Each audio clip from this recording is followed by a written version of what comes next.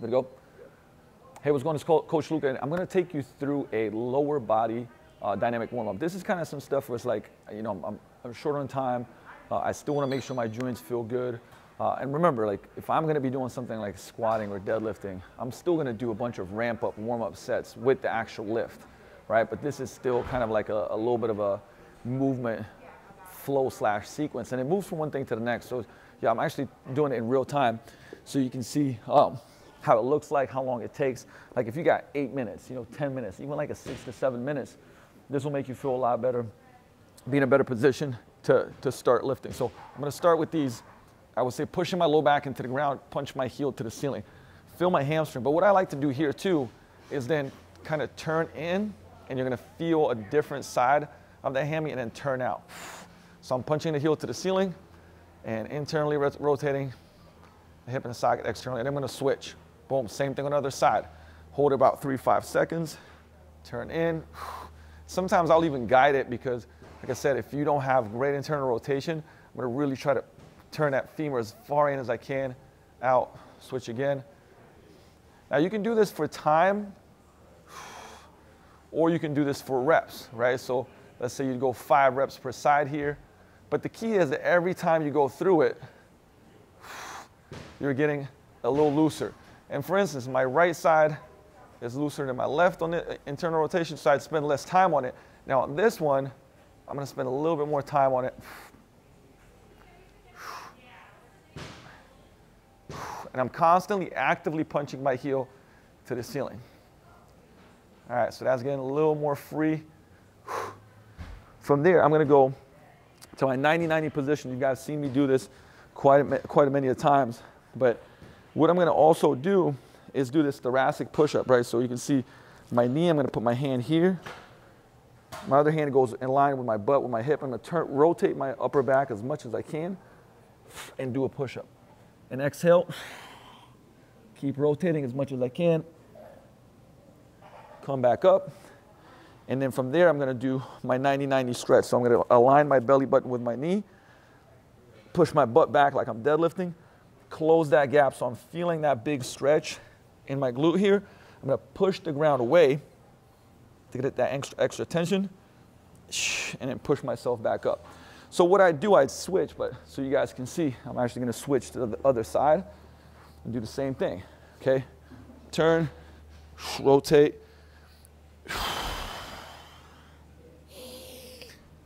Take a couple breaths, try to rotate my upper back even more.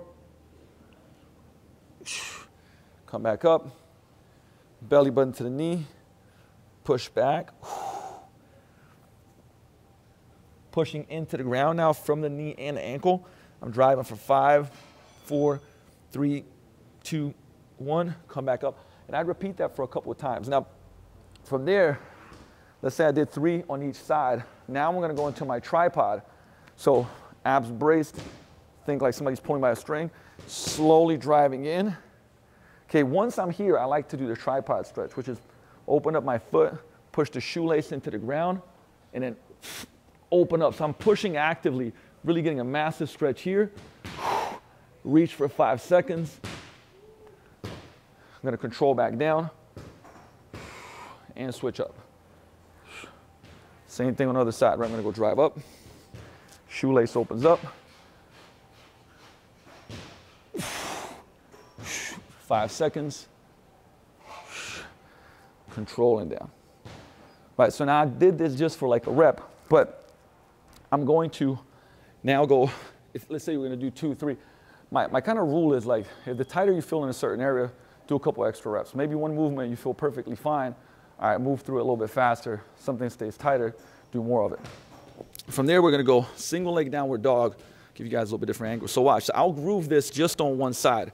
So I'm gonna go punch away, making sure the hips are square. So I don't wanna open that hip up. I wanna keep it square to the ground, get my ears in line with the elbows, punch this heel out. Big hammy stretch here. And I'm gonna come forward into the Spider-Man lunge, right? So now, same thing, I wanna be super tall, drop that hip, I'm getting a glute stretch, and get my reach. And then I just rep it, right? So I'd repeat. I'd go back, align, forward.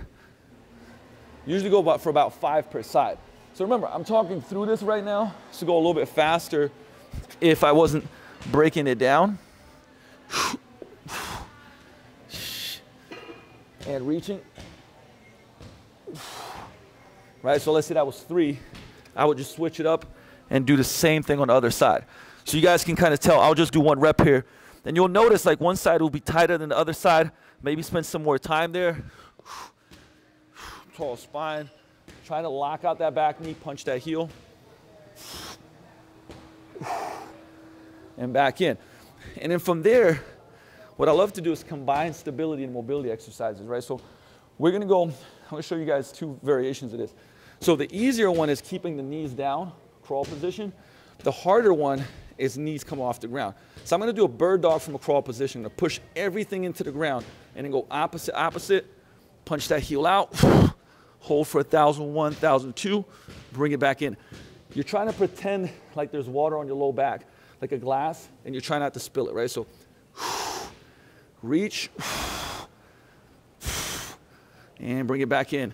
And then from that position, I'm just gonna walk myself back to a squat and do a squat to stand. So I'm gonna go, butt comes up, shift left to right, open up those hips, pull myself back down, get some external rotation here.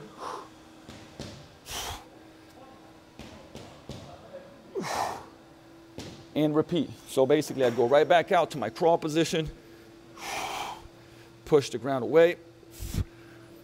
Nice and smooth and controlled. Notice I'm not rushing, using momentum here.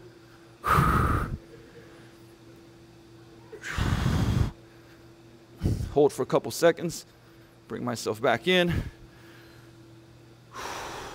And we're down, back down in, in squat position, right? Same thing. We go externally with the rotation, butt comes up and back down. So think about, this will probably be, you know, five, six minutes into it. Then I'm gonna go to standing. In a standing position, again, we're gonna train stability and mobility, right? I'm gonna go in a knee flexion position, hold this for a couple of seconds, right? Imagine you could also push down, make this a little more challenging, stabilize. From there, I'm gonna go down into my RDL, feel my whole foot, just feeling that, okay?